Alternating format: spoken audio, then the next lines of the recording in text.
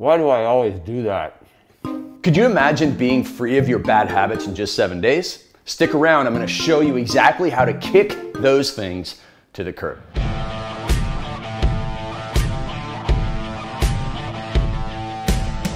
Step number one is to know your enemy. If you are addicted to donuts or potato chips or your phone or to gossip, you have to know your enemy. You have to know when it best attacks. For example, you might have no problem with donuts at lunchtime, but you put a donut around you first thing in the morning or after dinner and you're going to devour that thing. Well, now you know that you're strong against the enemy at certain times and you know when you're weak, so you have to avoid having the enemy in your area. You also have to know what makes you weak. If you've been having a really tough day, are you more likely to eat a donut? If you are, then you have to look for the stress relief habits that stop you from going down the path of the bad habit. Bad habits are often an escape. They're an escape from reality. There's something about them that gives us pleasure when we're in a lot of pain.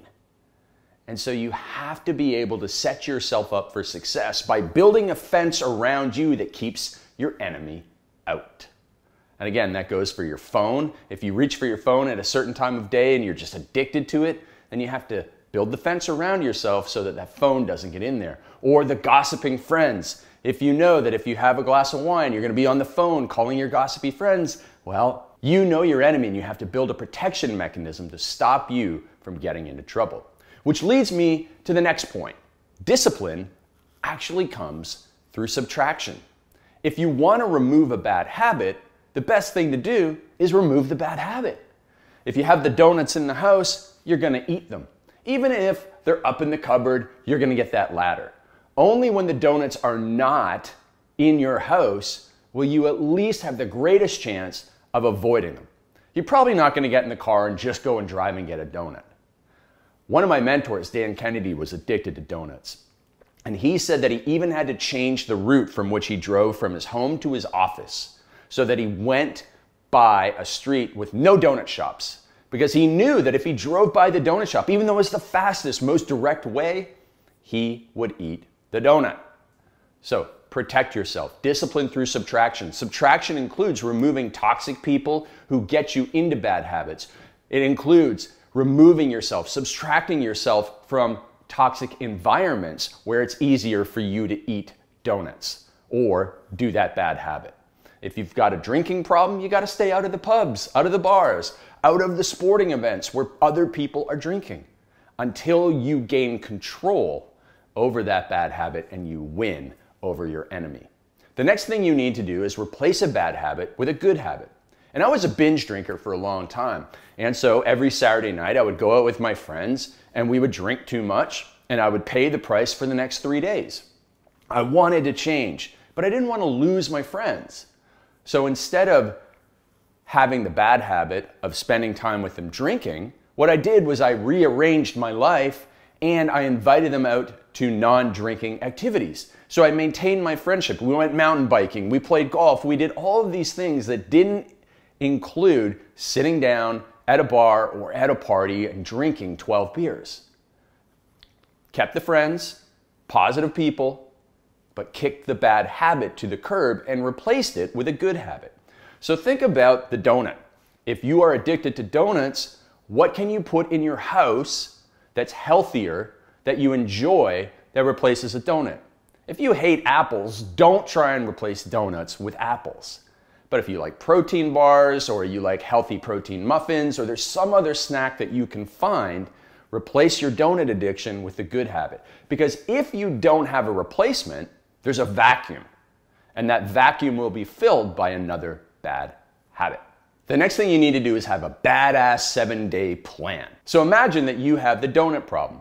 You're gonna plan out the next seven days so that you are out of temptation, that you always have healthy food around instead, that you aren't going to events where donuts will be there in attendance, and you don't hang out with your donut buddy. The next seven days, clear your schedule, change your plans, and make sure that you will not be walking into temptation. And when you do that, you destroy the neurological system that says at this time every day I get a donut. We need to break that habit because your, your nervous system has a much greater role in your habits than you think. Here's a story, for example. When I grew up, every day after school, I would go home, go up the stairs into my parents' room, and see what candy was sitting beside my dad's bed.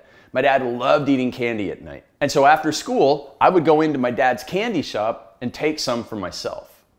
Now that went on for 20 years, from the age of five up until the age of nearly 25 when I was done university.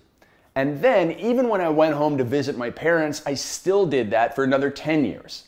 And when my dad passed away, when I would go home to visit my mother, I still went up the stairs and I went into my parents' room for six months after that because my nervous system was so ingrained in that bad habit.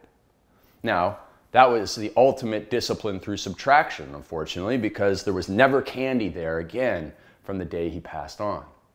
So it just shows you the power of removing the bad and changing your neurological system and your habits and your routines for at least seven days, preferably longer. So plan that out. Have that badass plan to kick the habits to the curb. Now, finally, the last thing that you need to do for kicking a bad habit is the same step that allowed me to stop swearing. So I used to curse up a storm all the time. You know, talking to my friends, F that, blah, blah, blah. It was all those things. And then I realized one day I never swore on stage when I was speaking at a business event, and I also never swore in front of my mother, which meant that I had control over my nervous system and that bad habit. So I decided to go to my email list of 150,000 people and I said to them, I'm going to quit cursing today. I had public accountability. Public accountability will change your life because you don't want to be a hypocrite when you tell the world that you act a certain way. If they ever catch you, if they catch me swearing and dropping F bombs and all that stuff, my goodness, I will be in trouble. Because people will say, Well, I thought you didn't curse or swear. And so you need to fix that. So, public accountability is the key. Tell the world that you're acting this way, and your brain will act in accordance with your public declaration because you do not want to be a hypocrite. That is how you lose trust. So, my friend, who can you get public accountability from? A Facebook group? A group of friends? Your email list? Your YouTube channel? Who can you ask to support you and hold you on track for that change in your life? And when you have those steps in place, you can kick the donuts to the curb. You can stop binge drinking. Sure, some of these take more than seven days, but this fast start will allow you to change your life. I stopped cursing in four days. You probably think it would take a long time for you to do that, but it's amazing what you can do when you have the power of these steps on your side. So drop a comment down below and let me know. Let me know what is the number one bad habit you're going to kick to the curb and what's the number one step of these five that is going to be most helpful to you. All right, make sure to click uh, subscribe as well. Watch the next video. And if you want to change your habits that will help you grow your business, then just click the link in the description. My team would love to do a free coaching call with you to see if you're a good fit to work with us and take your business to the next level.